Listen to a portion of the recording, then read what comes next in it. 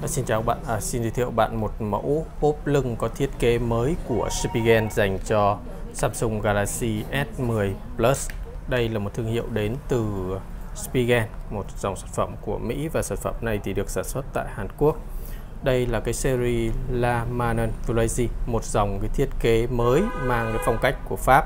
Và riêng những dòng sản phẩm này thì Spigen có hẳn một cái logo riêng cho cái dòng sản phẩm đặc biệt này mình sẽ mở hộp để giới thiệu các bạn.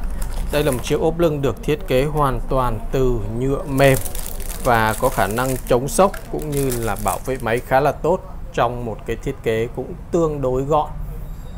Đây, thiết kế của chiếc ốp lưng này. Nó mang phong cách tối giản, kiểu như rất là sang trọng và thành lịch vậy. Như bạn thấy đấy chất liệu được làm hoàn toàn bằng nhựa mềm nên các bạn có thể tháo lắp và sử dụng uh, thoải mái mà không lo bị xước chiếc máy của mình. Bên trong có những cái rãnh để uh, mình sử dụng lâu thì sẽ không bị nóng cái điện thoại của bạn. Còn bề mặt ngoài ở đây có một cái logo màu vàng bóng lên trông rất là sang trọng và nổi bật này. Đó. Mình lắp lên chiếc à, uh, S10 cho các bạn dễ hình dung.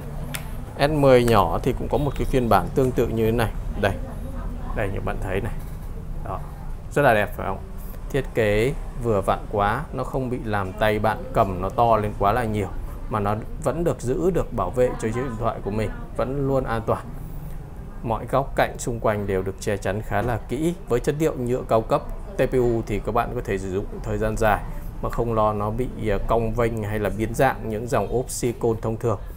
Bảo vệ tốt cho những cái camera đấy các phía chân cắm. Những cái họa tiết dạng kẻ sọc như thế này đồng thời sẽ giúp bạn cầm máy ở trên tay nó sẽ bám tay hơn đỡ bị trơn hơn so với những cái thiết kế mặt lưng kính như của S10 Plus. À, thêm vào đó những cái phím bấm này này được à, cắt hở ra và làm nổi lên. Để khi các bạn bấm thì cho cái cảm giác bấm nó sẽ chân thực hơn và nó nhẹ hơn. Nó nhẹ hơn rất nhiều so với những dòng sản phẩm ốp lưng tương tự đến từ Trung Quốc. Cái viền trước cũng được làm nhô cao lên một tí. Đây các bạn để ý kỹ thì cái phần loa thoại này Spigen cũng làm rất là tinh tế, được đẽo vát một chút xíu vào bên trong để đảm bảo cái loa thoại nó không bị chặn khi mà các bạn thực hiện những cuộc gọi thoại. Bên dưới cũng thế, làm nhô cao lên như các bạn thấy.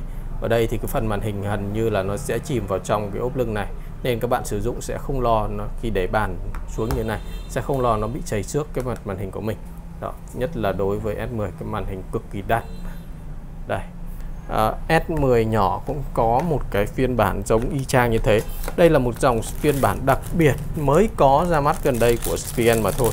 Và chỉ những dòng máy thực sự rất cao cấp thì mới được Spigen sản xuất cái dòng phiên bản đặc biệt này. Đây là cái phiên bản S10 nhỏ. Đây và hai chiếc này. Đây. để đặt mua thì các bạn truy cập website lê sang.vn hoặc gọi điện số hotline 024 66 708 708 để đặt hàng à, xin cảm ơn các bạn.